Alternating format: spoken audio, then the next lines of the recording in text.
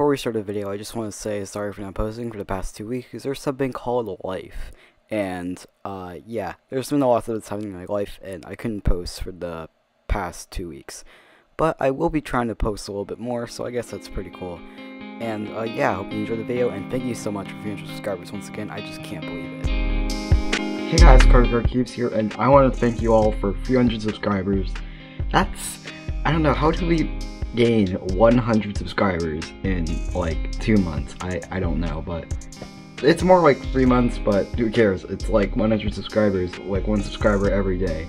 That is crazy. I didn't even think that 300 people would even like care to watch my videos. So yeah, jeez, I don't really know what to say. I just want to say thank you, and I'm going to be holding another giveaway but this one's gonna be a little bit different. I'm gonna have an editing contest, and this is gonna be totally different, like no, no one else has ever done this before.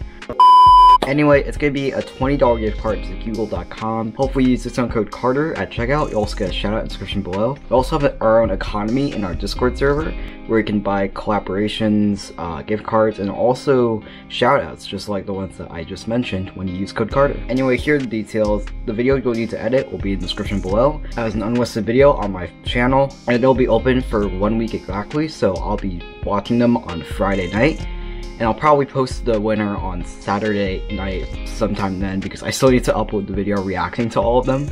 So yeah, whoever wins will be decided by me and it's based on originality, uh, the content, if it's funny or not, and also how transformative it is. Like if you actually just edited it or you did not edit it. So yeah, uh, subscribing and liking are appreciated, but they're not necessary. And yeah, uh, hope you have fun with this editing contest and may the best editor win.